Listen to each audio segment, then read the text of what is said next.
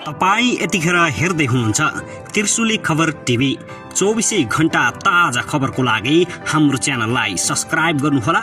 नजिक रहेको बेलायकनलाई दबाई हामीसँग जोडिनुहोला। नवनिर्वाचित मेयरका उम्मेद्वार बालिन शाहले गरे यति ठुलो घोषणा। काठमाडौँलाई विश्वकै सुन्दर र उत्कृष्ट सहर बनाउँछु। नवनिर्वाचित प्रमुख शाह समाज रूपान्तरण क्रान्तिकारी ढङ्गले होइन। विचलनतिर गइरहेको प्रचण्डको भनाई। एसओपी स्थापितले दिए काठमाडौँका मेयर बालिन शाह र उपमेयर सुनिता डुङ्गाललाई बधाई। चितुनका दानव पुरुष श्रीमतीलाई बन्दक बनाएर नराम्ररी कुटे पाटे घर पाटे घर पाटे घर निकालेर फ्याँकिदिए। केपी ओलीलाई चुनावमा उठ्न खतरा अब। मन्त्री रामकुमारी झाँक्रीको प्रश्न सर्वोच्च अदालत अदालतले कुन आधारमा टेकेर निजगढ विमानस्थलबारे निर्णय गर्यो? तुरुन्तै जवाब चाहियो। बालेन र सुनितालाई स्थापितको शुभकामना। पटक पटक लडेर धुलो टकटकाएर उठेको छु हार जित सामान्य हो। काठमाडौँ महानगरमा मेयरको उम्मेद्वार बालेन शाहले जित हासिल गरेपछि लाखौँ जनता उत्रिए सडकमा। भव्य गरियो स्वागत फुलमाला सहित बालेन शाहलाई। माथि माथि उठाउँदै बालेन शाह हाई हाई राजनीतिक दल बाई बाई भन्दै गरियो यस्तो घोषणा। र काठमाडौँको मेयरमा जितेका बालेन शाहले विजय जुलुसमै भने यस्तो काठमाडौँ अब विश्वकै सुन्दर ठाउँ बन्नेछ। अब भ्रष्टाचारीहरू काठमाडौँबाट भाग्नेछन् आ आफ्नो ठाउँमा झोला बोकेर जानेहन् याद रहोस् काठमाडौँलाई विश्वकै सुन्दर देश बनाउँछु। अब हेर्नुहोस् पुरा समाचार। दर्शक महानुभाव नमस्कार। तपाईँहरूलाई हार्दिक स्वागत छ।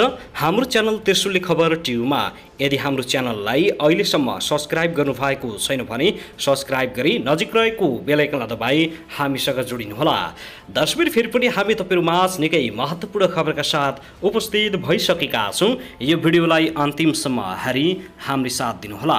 दर्शकबिन हाम्रो मेहनतको लागि एउटा सानो लाइक गर्न भनी नभुल्नुहोला। कहाँदेखि हेर्दै हुनुहुन्छ के भन्न चाहनुहुन्छ तपाईँको मन मनमा लागेका प्रतिक्रिया अवश्य पनि कमेन्ट गर्न नभुल्नुहोला। दर्शक पनि स्थानीय तहको निर्वाचन अन्तत सकिएको छ। मतगणना सकिएको छ। काठमाडौँमा बालेन शाहको आज विजय जुलुस मनाइरहेका छन्।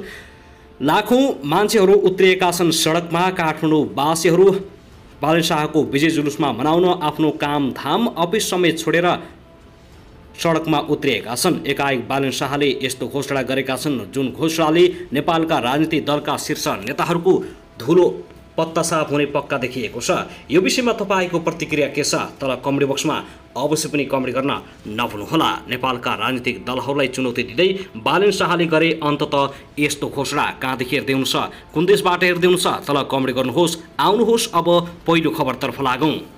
नेकपा माओवादी केन्द्रका अध्यक्ष पुष्पकमल दाहाल प्रचण्डले समाज रूपान्तरण क्रान्तिकारी ढङ्गले नभई विचलनतिर गइरहेको बताएका छन्। शहीद कृष्ण सेनको बिसौँ स्मृति दिवसमा सम्बोधन गर्दै उनले काम कारवाहीहरू भनाइसँग तालमेल नभएको बताएका हुन्। हामीले चाहना त निकै राम्रो समाज निर्माण गर्ने भनेका छौँ हामीले कुरा पनि गरेका छौँ तर हाम्रो दिनदिनैको काम कारवाहीलाई चाहिँ हामी भनाइसँग तालमेल भइरहेको छैन। कहीँ न कहीँ हाम्रो सिस्टमभित्र अहिले पनि थुप्रै खोटहरू छन्। प्रचण्डले भने जसले गर्दा समाज रूपान्तरणको क्रान्तिकारी ढङ्गले अगाडि जानेतिर होइन। अझ पनि दिग्भ्रमतिर अझै पनि विचलनतिर गइरहेको छ र यो खतरा दिन प्रतिदिन बढ्दै गएको छ। उनले विचार र निष्ठाको आधारमा होइन क्षणिक व्यक्तिगत स्वार्थका निम्ति अस्वस्थ प्रतिस्पर्धामा हाम्रो समाज गइरहेको भए बताएका छन्। सामाजिक रूपान्तरण र श्रमजीवी जनताको हितमा समर्पण नभई शहीदप्रति अपमान हुने उनको भनाइ छ। कृष्ण सेन त्याग र तपस्याको प्रतीक भएको बताउँदै प्रचण्डले त्यागको संस्कृति सबैले अपनाउनु पर्ने धारणा राखेका छन्। उनले भने उहाँ हिंसाको विरुद्धमा हुनुहुन्थ्यो। उहाँ बलिदानको पनि प्रतीक हो।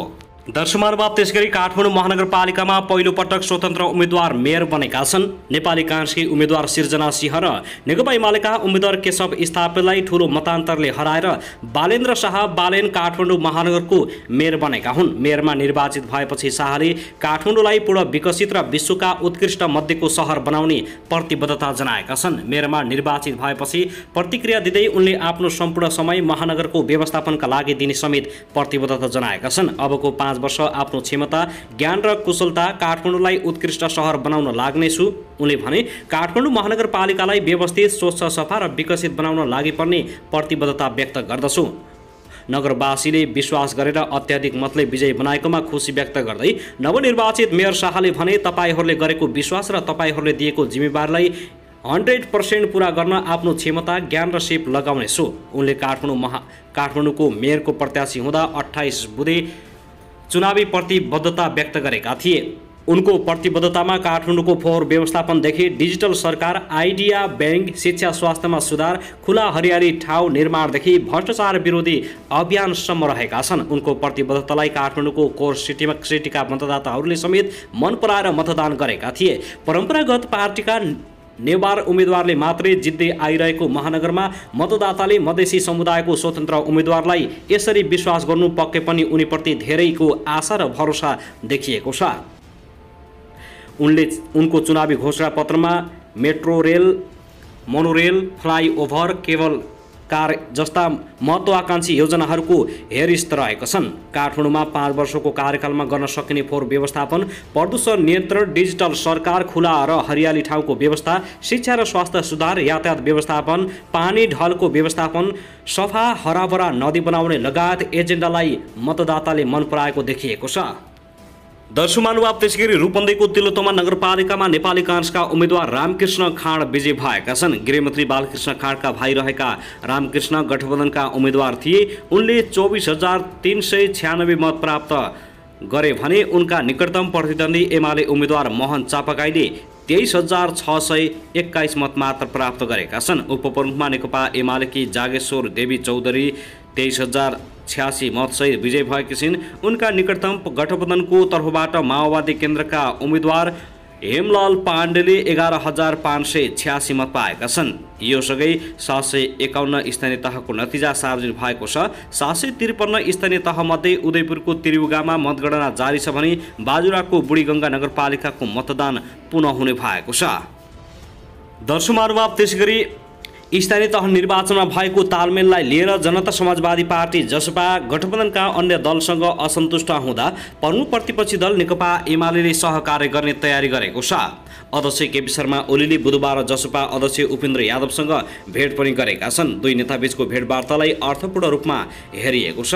गठबन्धन दलहरू नेपाली काङ्ग्रेस नेकपा माओवादी केन्द्र लगायत आगामी प्रदेश र सङ्घीय निर्वाचनमा पनि तालमेल गरेर जानुपर्ने पक्षमा उभिन थालेको बेला जसपा भने तालमेलको क्रममा स्थानीय निर्वाचनमा सत्तारूढ स्थानीय निर्वाचनमा काङ्ग्रेसले धोका दिएको भन्दै असन्तुष्ट असन्तुष्ट हुँदा ओलीले उक्त पार्टीका अध्यक्ष यादवलाई भेटेका हुन्। ओलीले पच्चिस वैशाखमा पार्टी केन्द्रीय कार्यालय च्यासनमा पत्रकार सम्मेलन गरी पछिल्लो पटक गठबन्धन असार सत्र गते टुट्ने बताएका थिए। गठबन्धन टुट्ने कुरा आफ्नो नभई ज्योतिषीको भनाइ भएको उनको भनाइ थियो।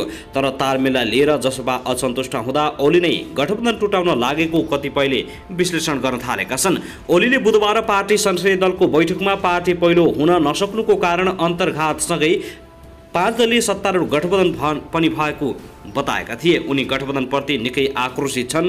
बारम्बार उनी गठबन्धनलाई देश विकास गर्न भन्दा पनि मागी खानेहरूको गठबन्धन भन्दै टिप्पणी गरिरहेका छन्। सोही गठबन्धन टुटाउन ओलीले चाहँदै आएका हुन्। ओली निकट एक पदाधिकारीले भने गठबन्धन आफै टुट्ने बताएका छन्। तालमेलमा धोकाधाडी भयो भन्ने सुनिँदै छ। अहिले नै यस्तो भएपछि अनि प्रदेश र सङ्घको निर्वाचनमा सँगै जान सक्छन् त। टुटिहाल्छ।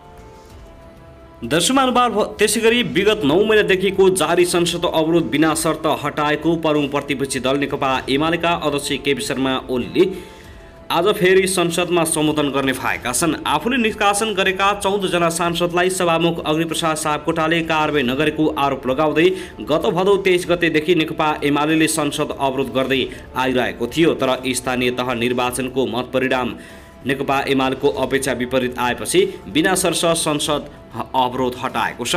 सरकारले नीति तथा कार्यक्रम मङ्गलबार राष्ट्रपति विद्यादेवी भण्डारीले संसदमा प्रस्तुत गरेकी थिइन्। प्रमुख प्रतिपक्षी दलको हैसियतले सरकारको नीति तथा कार्यक्रममाथि ओलीले टिप्पणी गर्ने कार्यक्रम रहेको छ।